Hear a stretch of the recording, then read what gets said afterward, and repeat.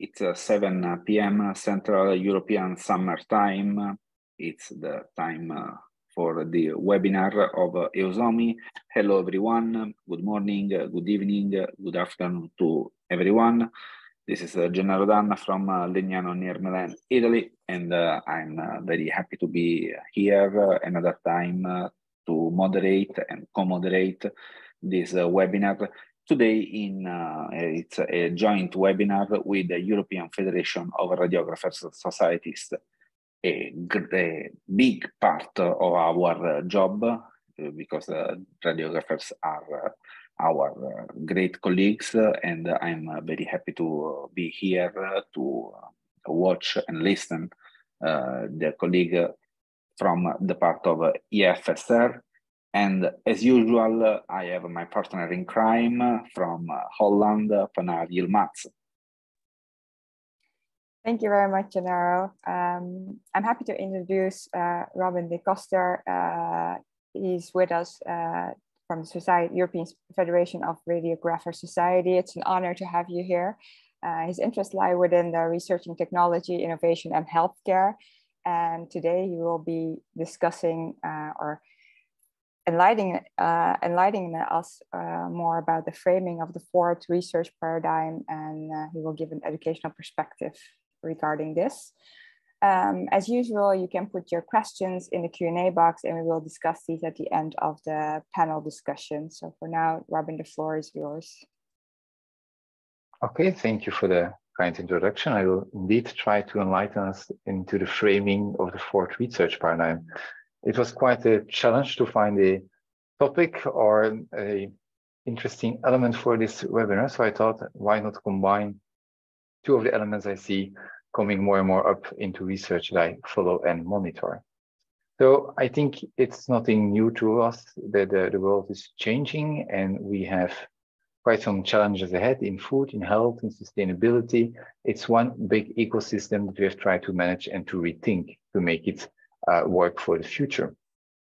That requests not only knowledge combination or a broader perspective, but also combining many, many professions like healthcare, data science, ethics, social science. Everyone has to come together in trying to save, um, save and solve these uh, questions. I added this big picture of the uh, machine from Charlie Chaplin's Modern Times that some of you might uh, know or have seen in the past.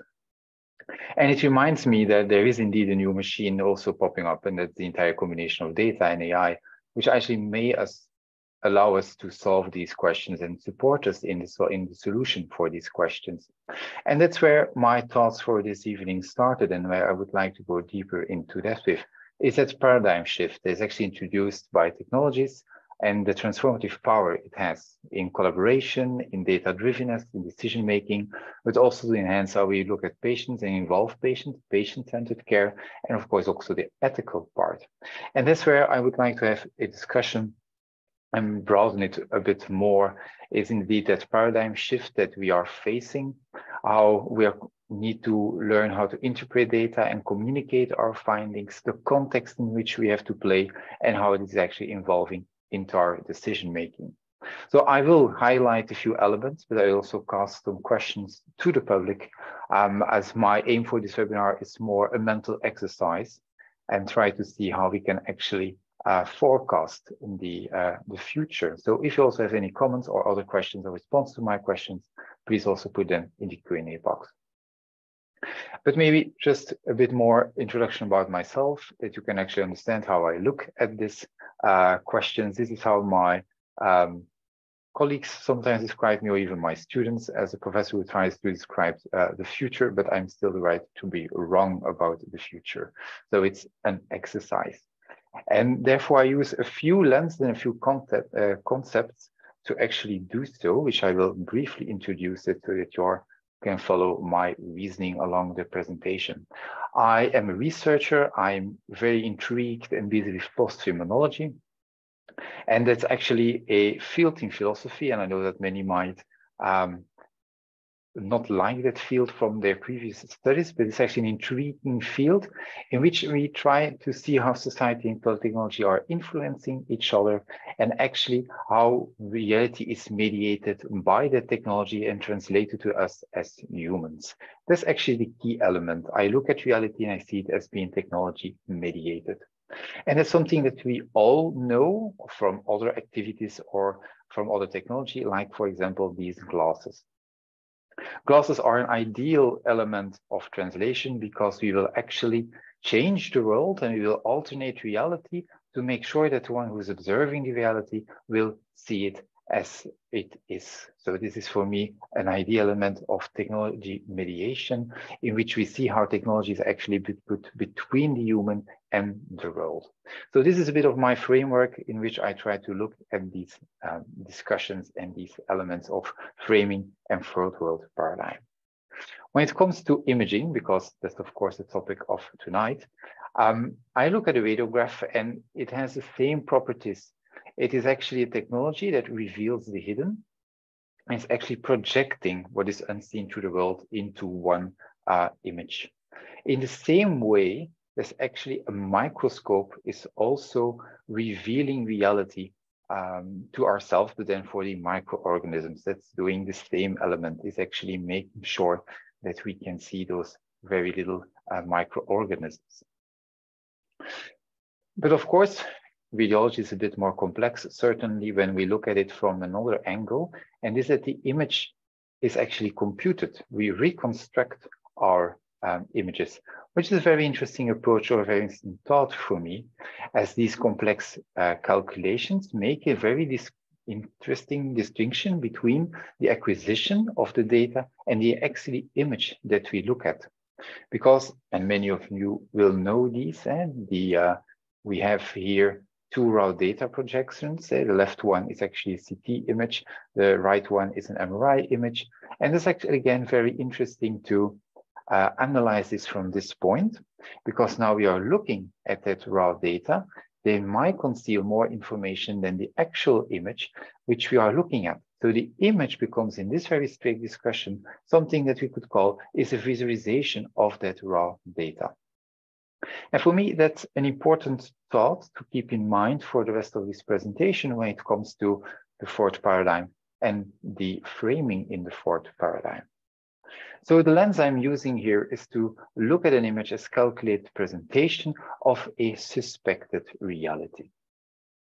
Of course, when we look at all the developments we are now seeing with the AI development and the data development, what I mainly see is that we are trying to evolve and influence the human limit. And I think this has been in publications and in literature. Uh, some would speak, speak about a painful divorce between radiology and radiologists. Other ones would certainly speak about the change that it would do to the workplace. I think it's very clear that radiographers and radiologists have their place even in a world with AI, but it will change the world, that is for sure. And when I look at some publications or I try to follow as many publications as I can, for example, here the statement about ESR is also indeed very interesting. We need to be sure about clinical benefit. We need to implement AI in our workflows, but then it becomes very interesting. How do we actually do so? That discussion point. We also need to be sure that the, the are introducing is actually appropriate, that there is a safe balance for the patient, that it has benefits, and we need to embrace it in that way. And that's a really big, really big challenge in which these teams uh, fit. And of course, how to deal with this for future generations. At the same time that I'm now stating that you are actually enhancing the human limit in the interpretation of the image, we also see that there is in some research um, an evolution where we notice um, that research groups are actually looking at raw data like the Sinogram and like the k-space I presented to actually do interpretation of images already. So they try to go beyond that image and look at raw data beyond the perception. It's quite interesting, but again, it's an interesting also for challenging that safe balance and keep that AI safe and our patients safe when I bring those two ideas already together, when it comes to the uh, concept of an image being a data being acquired during the imaging technique, and I combine this with the idea that we can actually look with an AI to the raw data, it makes me sometimes think about Jarvis, for those who know him, and actually develop us a tool that actually allows us to look at the data from an other's perspective. So it likes a tool, the AI tool is not only there to supporting looking at images, but it becomes really a tool, it becomes a microscope to actually look at that world of the hidden data, of the hidden world, and try us to bring us further than the vision that we have as an observer now when it comes to the clear standard images that we know. So we have actually a tool we can manipulate to explore the data at that point. Of course, when we look now at the current paradigm, we are looking at incremental innovations, eh? reduce errors, process information, process more and more images. We look at workflow improvements and advanced calculation. But for me, the next step would actually be that we try to develop algorithms that go beyond that part and not only enhance the human limit, but allow us to look at a totally new way at the same data. Of course, what has this now to do with the fourth paradigm? I think this is now the question that many of you have after these first 10 minutes introduction into that part of data. For me, we need to keep the safe balance and it's an incremental innovation. Uh, we have to rethink our microscope. So the question I actually am putting on the table is, can we actually imagine a radiology department where the images are just a secondary prime, a secondary data and not a primary data. So can we reimagine how we can actually collect data from patients and look at it to it with new glasses, with new elements. This is an interesting shift when I combine this with research, because in research, we look at the reality and there are a few paradigms. There is a positivist who look at very quantitative methods, interpretivist who look at qualitative methods. We also have the critical theory, which now more and more standard, in which we explore mixed methods, uh, in which we try to um, grasp the objective value of data, but combine with more the insights of qualitative of qualitative research. And of course, there's also constructivism, which uh, looks more from the experience and construction of reality. All these paradigms have been classified as first paradigm, second paradigm, and even third paradigm. And the third paradigm, the mixed methods in which we try to enhance or enrich uh, quantitative data, um, is still under development. Some are already speaking about the fourth paradigm. And that is a combination of mixed method, quantitative, qualitative, with data. It requires interdisciplinary, interdisciplinary approaches, and I'm not, not only speaking about professions, but I'm also speaking about um, approaches to that same research paradigm. And the basic line there is that we actually look at the links into the data and let it emerge from it.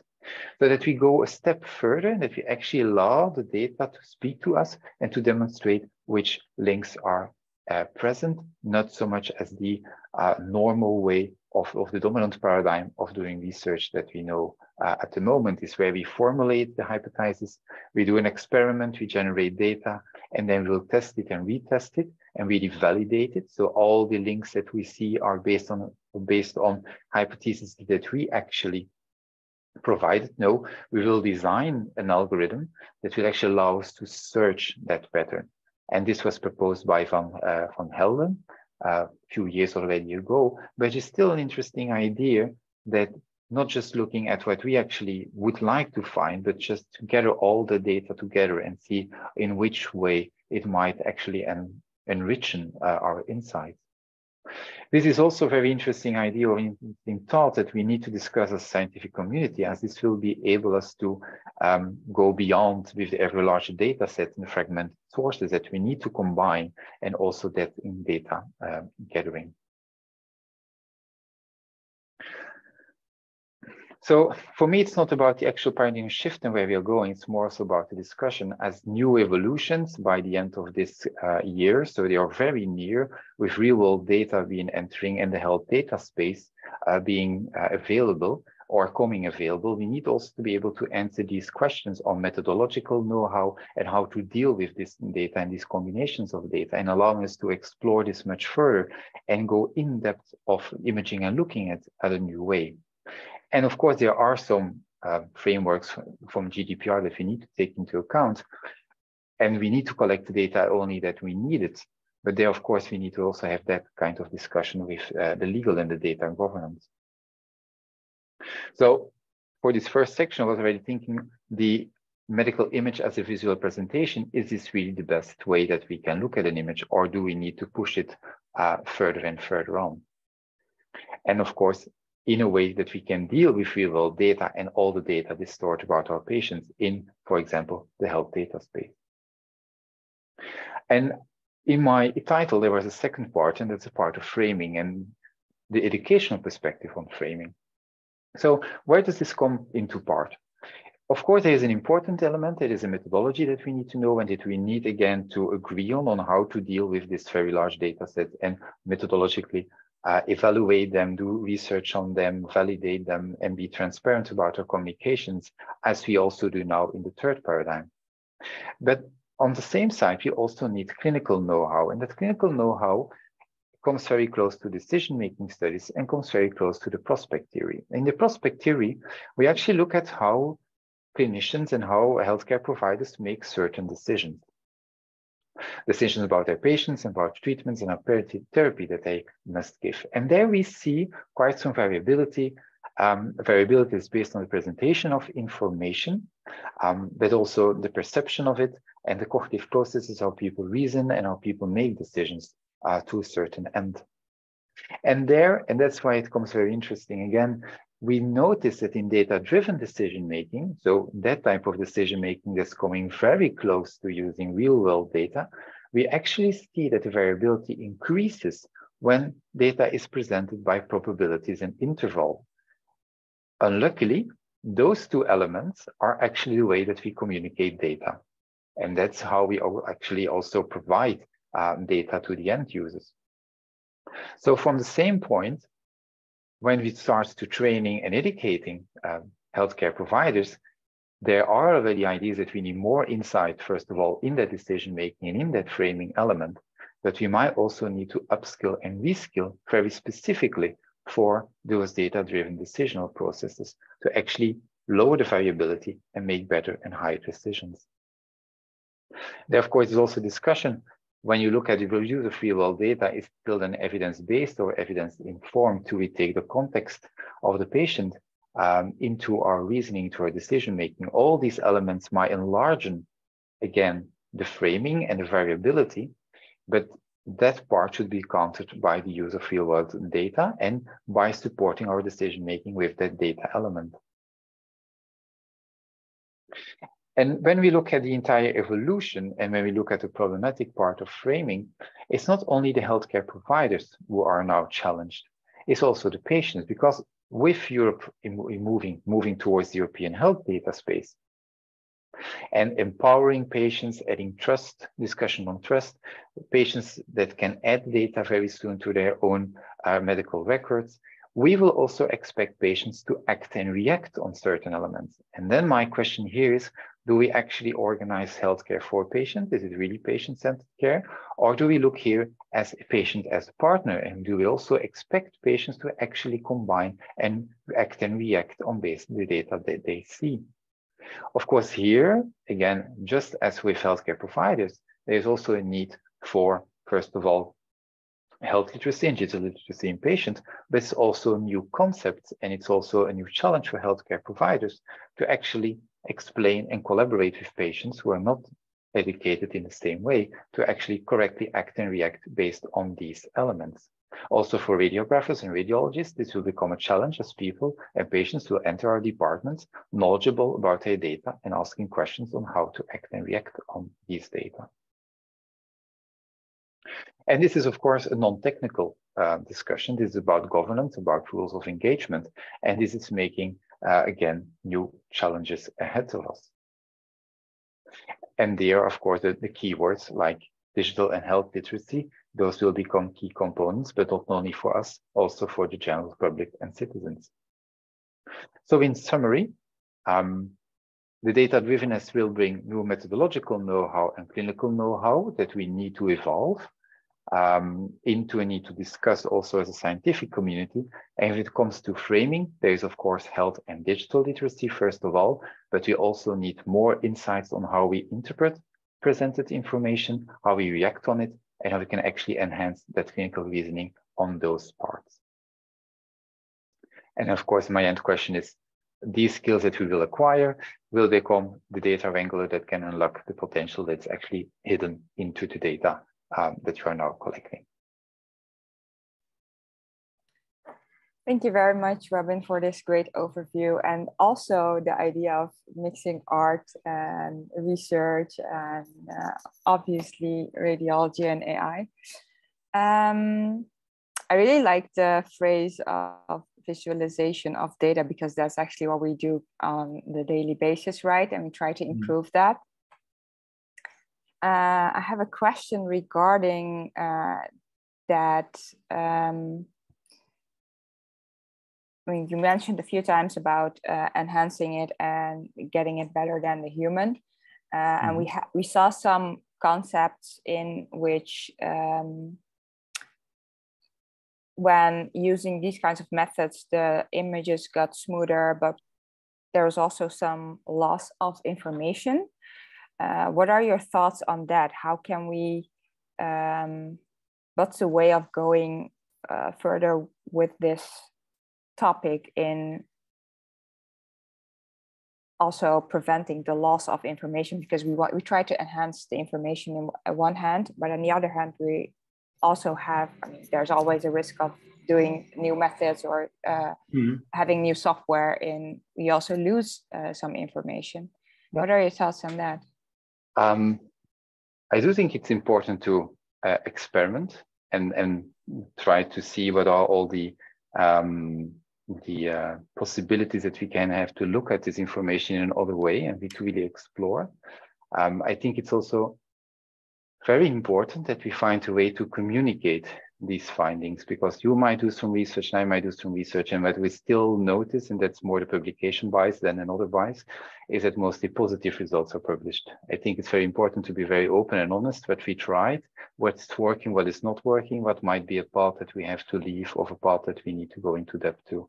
So I think their openness within the research community is actually very important to uh, limit those elements and, and really explore how we can look at it yeah so really give the data limitations and also the i guess the packages uh, but yeah. And make them very transparent on, on how they deal. I sometimes hear that one data set has other results in different packages but then when you look at how do the packages work they use other calculations they use other yeah. they use other mathematical approaches they are apparently also accepted in, in research. So it becomes a very complex uh, study. So I think transparency there and the fair use of data with the fair principles, I think those are really uh, key elements to, to be transparent about the work that we do.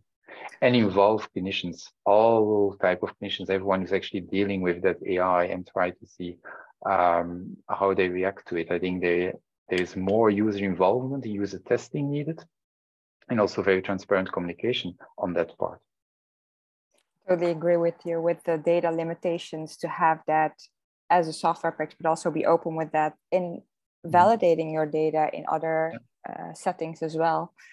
Um, so you said that there were some few concepts really all already uh, in process. So can you tell us a bit more on what we can expect uh, in the near, like really near future on?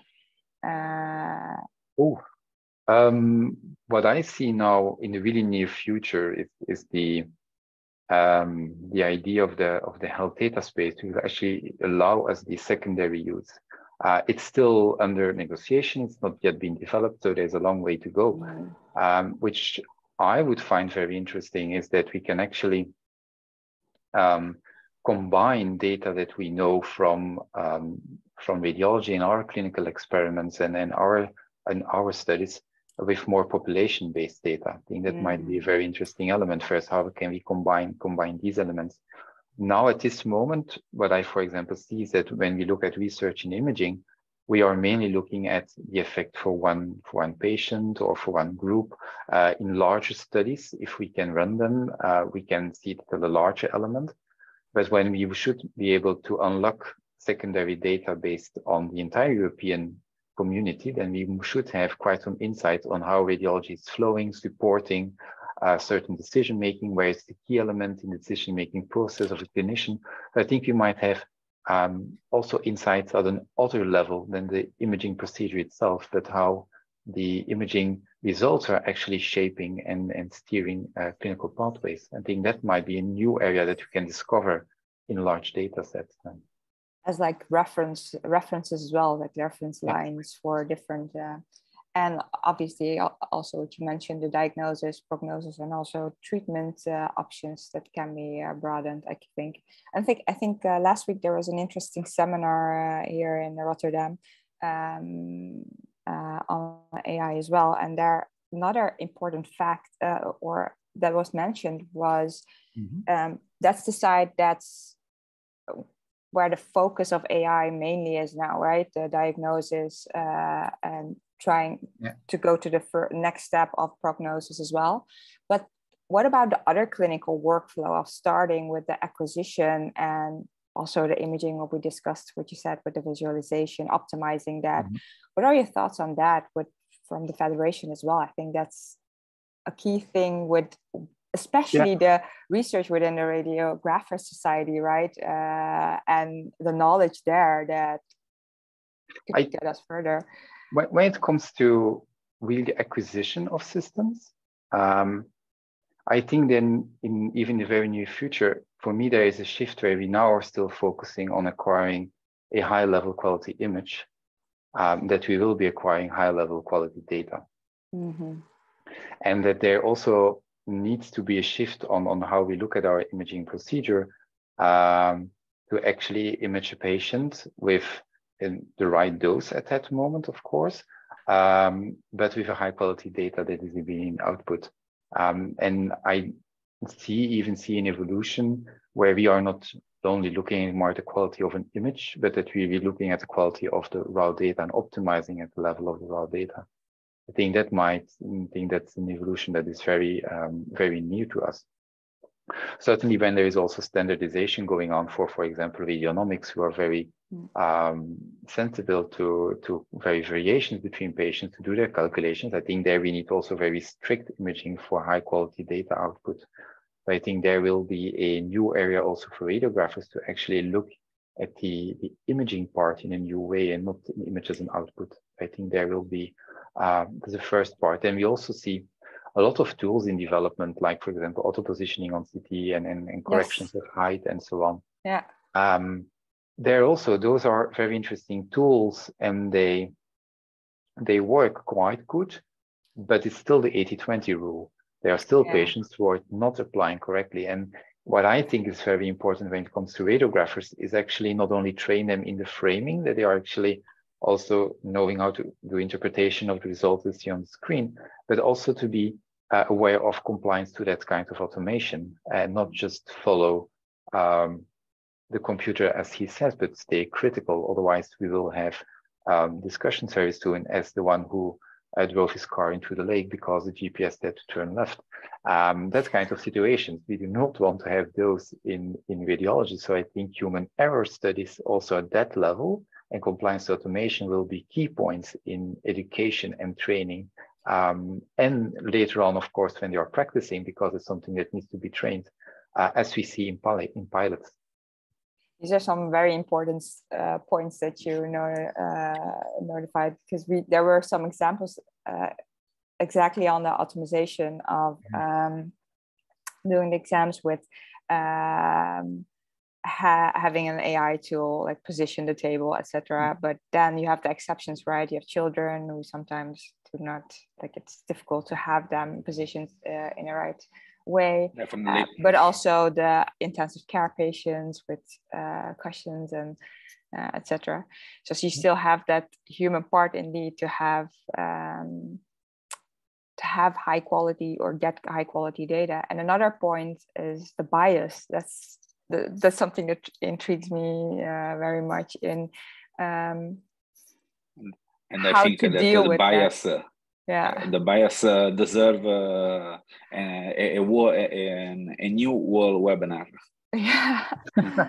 But education indeed to uh, be aware of, uh, of obviously uh, acquiring the images, but also interpreting the images, something within the educational part, I think is a mm-hmm. bit need maybe another webinar uh, session to discuss the bias part because we have it in all kinds of faces and yeah uh, and, and also need to be aware of the bias that you're bringing to the table as healthcare providers. I think that's only that part is already a huge reflection on I think how we might edit ourselves. Yeah. I'm actually out of my questions. Gennaro, do you have anything to uh, add? Oh, I think I think that uh, now the, the time is uh, over. Over, yeah. so I think we uh, we can uh, go to conclude our uh, session for today. I am uh, so happy that it was uh, so really productive and uh, also the, um, the it's uh, that way that we like uh, to do a joint meeting, uh, joint uh, webinar with the European Federation of uh, Radiographers Societies. and I think we have to just talk one minute about our annual meeting. And I think it will be in an interesting country, I suppose. I can uh, add uh, a few sentences to that. Thank you again, Robin. It was a great overview and a great discussion. Uh, looking forward to future joint webinars, uh, as Gennaro mentioned. And obviously, the, our annual meeting, as I mentioned before, during the webinars will be in Pisa this year uh, on October 13th and 14th. And the call for abstracts is still open until the 3rd of July. So please submit your abstracts and we hope to see you over there. Uh, on the 6th of July, there is another joint webinar with the European Society of Breast Imaging, and we hope to see you then. So thank you everyone for joining us and uh, hope to see you soon. See you soon. Bye-bye. Bye. Have a great week, everyone.